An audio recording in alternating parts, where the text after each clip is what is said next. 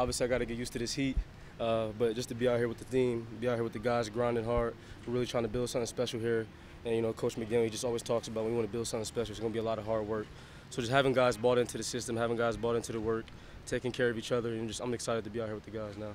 Makes you confident that this running game will be efficient and effective? Yeah, I mean, I played against it, you know, for the last four years. Uh, it's something special. Uh, just with how they kind of disguise everything and kind of window dress and make everything look like the same, really confuses the defense and it holds the defense to really be disciplined and just have gap integrity. And um, I think that's something that I'm pretty good at, specializing with my, my zone scheme. And I'm, I'm excited to just get under the zone and kind of, you know, work my feet, work the rhythm. It's a different scheme than what I'm used to. I was uh, predominantly inside zone. So just working my feet, getting used to the outside zone track, getting used to the outside zone feel, how certain lanes feel, but uh, just working to build to something special, man. Before the contact really starts, is it more mental for you out here in these particular practices? Yeah, I always felt like uh, you know OTA should always be just about a mental emphasis. Um, I just feel like, especially with the NFL going to 17 games, you, it's a pounding enough. You know, I feel like guys got to come out here, get the playbook down, so that when we have that six weeks off, it can stay fresh in our mind. We come back to camp, and you know, you don't really miss a step.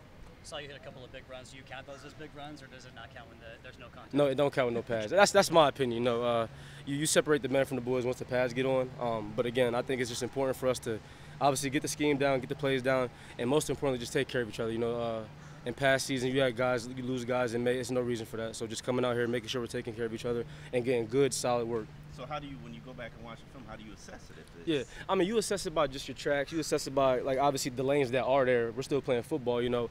But I just feel like from my personal standpoint, uh, as a as a running back, you know, it's not real until you get the pads on. You don't really get to feel the lanes. You don't really get to feel kind of the the scheme, the, the tempo. Really, especially the tempo changes so much from pads to no pads.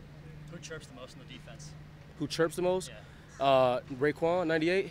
Raekwon and uh, C. Wilk. But I was just talking to the guys, man. I mean, that's what it is. But we got some dogs on defense. That's the first thing I took notice about with just being out here is just uh, really the physicality and that we have a really solid defense. Do you get a sense from them that they're, they're pretty far ahead in terms of just knowing the system well, and where they are? Yeah, so we got a lot of new guys on offense, man. Um, everybody coming from different places. So we're all still trying to get the scheme down, get the plays down.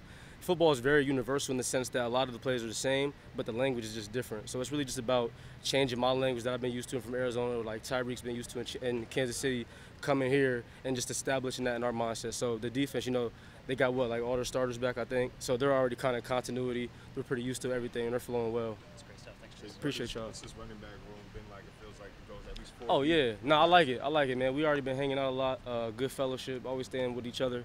Um, it's just funny because uh, you know Sony was actually my combine roommate.